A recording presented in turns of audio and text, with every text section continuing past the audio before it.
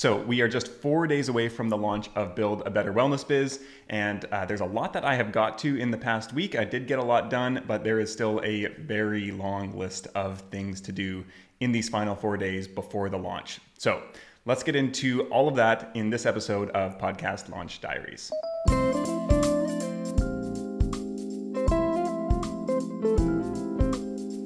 Hey everyone, Jeremy here, and welcome back to the final pre launch episode of Podcast Launch Diaries. Like I mentioned in the intro, there was a lot that I got done this week, still a lot to do, so let's dive into everything and uh, start out by looking, as usual, at uh, our time tracking here from the past week. And so you can see 16 hours, 16 and a half hours, which is actually a little bit less than some of the previous weeks. I think each of the last two weeks was up over 20 hours um, in each of those. So a little bit less this week, and I think a lot of that was that I didn't have any interviews this week. So those were taking up a lot of time in both prep and doing the interviews uh, in each of those past two weeks, and really the whole past month or two. But I didn't have any of those this week, which was uh, a relief because there was a lot to get done, and so this allowed me more of that time. And so, if we look at uh, some of the big chunks here, creating launch assets. So, we're going to talk a little bit more about this uh, in this episode what those launch assets were, types of social promo to send to guests, uh, as well as for myself. And then uh, web design as well. So, that was creating the podcast page where the, the feed of podcasts will uh, exist on my website, as well as the uh, show notes page for the individual episodes, designing that. So, that took a bunch of time there and then some some more work on this was setting up uh, Abel James episode, which is one of the first three episodes that will go live. I'm gonna have two solo episodes and then that one guest episode with Abel, and so uh, that was a couple hours setting everything up online there. Solo episode editing, editing, brand guide design. We'll talk about that a little bit more uh, later in this video uh, creating a, the teaser video for Abel. So uh, we're going to talk quite a bit more about this. And that was just a little bit of time that I spent there, where a video editor spent much more time. And uh, we'll talk about that, like I mentioned, how much time went into that. Uh, a little bit more setting up the podcast host transistor.fm and then a couple other small things. So 16 and a half hours, uh, still a lot of time, and uh, but just not quite as much time as in the past couple weeks. So let's jump over to Asana and look at some of my goals from last week. So, setting up the website. Uh, this is something that uh, let's jump over there and have a look at what I, I, was able to do. So, I think I've showed this before. This is just the homepage on the website, and so nothing really has changed here. Uh, I will change some things. I will add the teaser episode down below here so people can easily listen to that and uh, and then I'll, I'll, continue to build this out. I might have some like the top episodes or, or something like that, or most recent episodes um, on the homepage as well. But uh, that'll be once those actually get released, and I have something to actually post there. Then this week, one of the big things that I spent a lot of time on was building out this podcast page. So this is the page where um, the podcast feed will live. So there's a bit of information about the podcast, some copy there, headline, cover art, way to subscribe. This will link to a uh, chartable link uh, that people can choose which player uh, will work best for them. And then here I have the teaser episode. And so I usually like to include the teaser episode in many places uh, on the website as a way for people to get a sense for the show without having to listen to a full, you know, 30, 45, 60 minute or longer episode because probably if people are unfamiliar with you and the show, they're just not going to do that. So uh, I like to have a, a, really easy way for people to, to get a sense of what the show is about and hopefully uh, with the teaser episode that intrigues them enough to listen to a full episode or click into a, a post, um, a, a, show notes post. And then I have uh, places where they can listen and subscribe directly on these uh, different platforms here. So this will be a chartable smart link that will redirect people to you know wherever uh, they want to listen, and that'll be like this one. And then we have Apple Podcasts, Spotify, and Google Podcasts, which are I feel like the big three. Um, I would rather have more simplicity than a bazillion links everywhere. So uh, that's that's what I have there. And so that's what I spent some time working on uh, when it comes to the podcast page. And then we've got the show notes page, which I also spent a bunch of time designing. And so we've got uh, the cover art for that episode. And then we've got show notes here. The episode will go in here once it is uploaded to Transistor. I still need to make a few tweaks to the to the audio uh, and put an ad in that episode for one of my lead magnets. So that's going to happen. And then this uh, episode player will go here. It'll be a similar player to the one on the podcast page uh, key takeaways from the episode, and then show notes here. And I've got it broken up with a couple of calls to action. This is to subscribe to my newsletter. This one is for people to uh, record a voice clip. Uh, in each episode, I ask a question that I'd like people to respond to. And so that leads over to my voicemail page, which we'll get to in a second. And then we've got quotes from the episode, uh, what's in this episode, kind of the table of contents almost, uh, links and resources, and, uh, and then a, another call to action to subscribe to the newsletter down here. So that is the show notes page, and it looks kind of fancy. Uh, this is a WordPress site using the Divi theme, which I really love. And basically, Divi has something called the theme builder, where you can set like templates almost for different categories of posts, or, or you can do a whole bunch of stuff with it. I'm not a developer, uh, so I kind of muddle my way through it. But basically, I can I've designed this so that you know this fancy like transition and the way that the this cover art shows up with the uh, drop shadow around it and things like that. That's all just preset so that for every podcast show notes post, that's just it's going to look that way, and I can design it once and it's going to show up nicely forever. So that is is kind of how I have uh, set this up and uh, how it, it it didn't take that much work to make it look pretty good. So I'm happy with how everything is coming together here, and it did take some time, but I'm excited to be able to share this with people. Uh, and then we've got the voicemail I, I, mentioned before. I think I've talked about this on a previous episode of Podcast Launch Diaries, but basically, uh, I, I, was initially going to do it as a question asking thing. Now I'm going to do it as I'm asking the question and getting people's responses. So I need to change some of this uh, copy on this page, um, but everything else, uh, basically, this is uh, a tool called SpeakPipe and people can just click record and then it records. Uh, I don't know if it works on your phone, but um, definitely from your computer, just uses your headphones mic or computer mic or fancy mic if you've got one. And um, then that gets submitted to my account in SpeakPipe and I get sent an email and can go listen to it and add it to the, download it and add it to the episode. So that is uh, what's going on there. This page could probably use a bit more design, but whatever, it's not super important. All right, so did get uh, the website set up. There's still a little bit of tweaking to do, but for the most part, I think uh, we're in good shape there. Onboard video editor. So uh, I was talking about this last week, and I was able to find and onboard a video editor. Uh, I think I'd actually found him last time. He's actually someone who went through Podcast Marketing Academy, so I've got to know him really well over the past four months in that program. And he's a podcaster and video editor, so uh, really, you know, the perfect fit here. And so uh, what uh, I'll show you what the video that we came up with here. And uh, so this is a three, just under three minute video. And this is basically the exact intro that plays on the podcast episode, except it had to be recreated using the video versions instead of the audio. Um, and so I recorded my narrative kind of intro bits and then we had to go back to the Zoom file and using the transcript identified where all these places were to pull these clips from. And so this is a three minute video and it took over seven hours to create of, uh, of the video editor's time. And uh, we're both hoping that we can get that down under three, preferably even under two. I would love if we could spend an hour and a half and get multiple videos, but we'll see. There's a lot, uh, we've identified a lot of places where we could save time in the future. And of course, the first time is, uh, is going to be the longest. There's the most back and forth, the most revisions. But um, I'm, I'm really pleased with how this video came out and I'm excited to share it with people uh, and share it with Abel, the guest, and, and have people see it. And hopefully it, uh, it does well and catches people's attention, gets them back to the podcast. If not, oh well, it was uh, worth an experiment. So uh, let's. I'll just give you a little bit of a, uh, a play for the first 30 seconds or so, uh, so you can kind of get a sense for what the video looks like. Bad things work better online. A lot of marketing is meant to poke holes in someone, make them feel worse about themselves, make them feel like they're nothing unless they have your product. Welcome to Build a Better Wellness Biz. I'm your host, Jeremy Enns.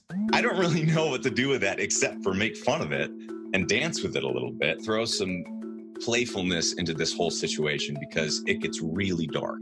In this episode, I'm talking with Abel James. So that's uh, kind of the general sense of what the video is, and there's clips pulled from throughout the episode. So that was where a lot of the time went is, was like identifying those clips in the transcript. And uh, so I, I think we, that I can do a better job of setting up the transcript so that uh, Ari, the video editor, can actually much more quickly find and pull those clips. Uh, at least that's my hope. But we're going to keep experimenting with that and seeing how that goes. So uh, I'll keep you posted on uh, on how this uh, kind of video process works. And like I mentioned in the past, I would not necessarily recommend everybody you know, every podcaster go out and hire a video editor. And, and part of that was, or part of me hiring a video editor was trying it out and seeing like is this something that's feasible for people? What's the cost going to be on this? Like how long does it take to create this? Should podcasters be spending like this much time creating micro video content or should they be hiring someone? Um, or is it just you know way more time and or money than it's worth? And um, so I'm not going to make any decisions based on one video, which of course took the longest, but uh, we'll see how that goes. And uh, I'll, I'll let you know if I think it's working really well and if it might be something to, to be worth exploring or if it's really not. And uh, the other part of it was also figuring out like how can we offer this as a service to our clients. And so that I think is much more likely because our clients do have uh, obviously they're already hiring us to produce the podcasts, and so uh, it's possible that we would be able to if we can get a, a cost efficient system for creating these videos as well. That that's a, a really enticing add-on to many of the people that we're already working with. So that's kind of how things are going with uh, the the video editor. And one of the other things that um, came with that, I think I mentioned this last week, was uh, creating this brand guidelines um, page on the website, basically. And so if you are outsourcing any design type stuff, I would highly recommend creating something really simple like this uh, to help whatever that person is use your brand effectively and make sure things look good. And so basically all mine is right now is the brand colors right there and the hex codes for them. And I'm probably going to add uh, some other um, like RGB codes and stuff like that as well. So that uh, if you're using different softwares or whatever, it might be uh, that it's easy to find those as well. And then the typography. And so I've got the, the font and the usage here. And so a lot of brand guidelines would have uh, logo information, which I will probably add to this at some point. A lot would have like brand voice of like how to write as the brand. That I probably won't add for a long time, if ever but uh, and a number of other things can often be included in the brand guidelines, photography, uh, things like that. But this is a good start, and I think that uh, for most people, colors and fonts, if you can get those clear on what those are, you are off and running and, and can make most things look good. So um, getting clear on that is a good place to start. And uh, like I mentioned, I sent that over to the video editor. That's why I created it initially, and uh, it seemed to work really well. So onboarding the video editor was done. Repurposing content for initial episodes. So this, let's jump over into Photoshop here. And so basically this, uh, here I created all of these graphics for uh, you, all the guests to help promote the uh, the podcast launch. And so this is actually I wasn't in this wasn't the reason I batched so many episodes, but I realized this week that it's a really nice side effect. And I've already done 17 interviews, and so a lot of those people's episodes aren't going to go live for weeks or even months till I think through the end of December or into January. Right now we're in uh, start of September, and uh, so we have months of content already recorded. Uh, and so you know a lot of those people probably aren't going to promote it maybe not at all, um, or if they are, probably not until their episode. But you know, at least this at this way, some of those people, even if their shows aren't going live for months, have said like, yeah, let me know when the podcast launches. I'll send it out to my list. I'll share it on social. Uh, you know, I'll support it however I can. And so basically, what I did, I created a few cover graphics. So these are just general podcast promotion uh, graphics here in three different sizes. And then for each person who I've interviewed, so all 17, uh, I pulled one quote from their episode. And actually, this is only 16 here because uh, of Abel. His show is launching with the with the launch of the podcast, and we'll we'll get to that in a second. So he has other graphics. Uh, so basically, I, I, took one quote from each person and created it in two different sizes, square and story. And basically, uh, what I did with these quotes is I themed them all around what building better is to them. And so, because it's the, the launch of the show, Build a Better Wellness Biz, it's all about building better. I wanted all the quotes to be around that theme. And so, that is a question that I ask uh, every guest is, you know, what does building better mean to you? And so, I, I took those quotes and used them in all these graphics instead of quotes related to whatever their specific episode is about. So, that's how I, I kind of thought about this. And uh, yeah, I'm really happy with how these look, and I'm hoping that you know probably not everybody's going to share about it for the launch, but you know if a handful of people do, that's definitely going to help. And um, I've already heard back from a few people who said, "Yep, got it scheduled in my my uh, social scheduling app." So uh, that's that's really good. Uh, I mentioned Abel as well. He's got different graphics, and so I think I had to start on these last week, but these are all finished now, and so I've got just the the title graphic in three different sizes. And then I've got uh, these kind of photo graphics in three different sizes, and then I've got three different quotes in two different sizes. and so uh, these are going to be the kind of standard graphics that I create for every episode, and I might expand on that uh, in the future with more like you know I might do LinkedIn or Twitter or things like that uh, if those are if I'm finding that those are are useful to me and or the guests. So that's kind of uh, where things are at with the the design side of things there. All right, so that is done.